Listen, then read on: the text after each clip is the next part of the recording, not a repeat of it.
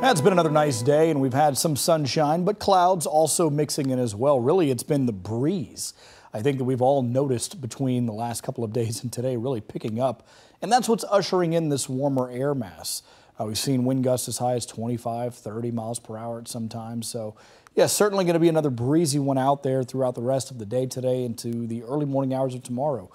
Before the cold front, which is starting to get a little bit of uh, representation here on the max track. You can see some rain showers, but also a little bit of snow out in the plains. Once it gets to us, it's warmer air, obviously, so it's going to come through as rain. But it is uh, still a few hours out, so we got to go all the way throughout this evening and then into the early morning hours before it starts to cross the Ohio River, but then moves through throughout the morning and early afternoon tomorrow and then we're right back to sunshine. High pressure building in almost immediately after this front. So really, even by tomorrow evening, the sun will be down, but the clouds are already clearing out, making way for a nice start to the day on Friday, although the cold air pouring in at that point. So let's go ahead and look at the local future track. You see the cloud coverage out to the north and west. Here's a rain shower activity crossing the Ohio River right around 1 o'clock in the morning, making it to the bluegrass in bulk. Now, this is the bulk of the front at this point by about 7, 8 o'clock in the morning. So morning rush. Uh, the morning commute, you will have to deal with some rain showers out there, but it wraps up very quickly. By the late morning hours, we're already finished with the rain, at least in the bluegrass. We've got it scattering up out in our eastern counties at that point, and then by about 4 or 5 o'clock in the afternoon, it's finished. It's out of here.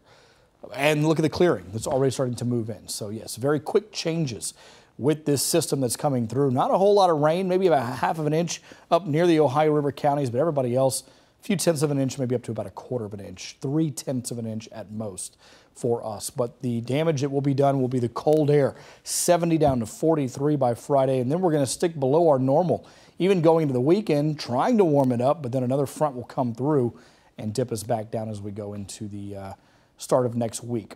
By the way, Friday morning, once we've cleared all the clouds out, we have a spectacular view of the partial lunar eclipse that's coming up. It's going to be a cold one, and it's 4 o'clock in the morning. So if you happen to be up and you want to go out and look at it, make sure you bundle up for it.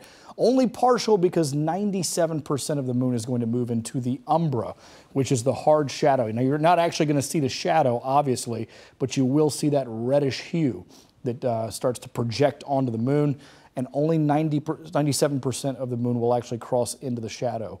Uh, but you will see it darken kind of before and after and then brighten up as we get into about 7 o'clock. Uh, but yeah, certainly that's going to be an, an, interesting thing, a really cool thing to see early on Friday morning. Good news is we've got the clouds out of here, so you have perfect viewing opportunities. After that point, it's sunshine through Friday and Saturday. Temperatures warming up slightly.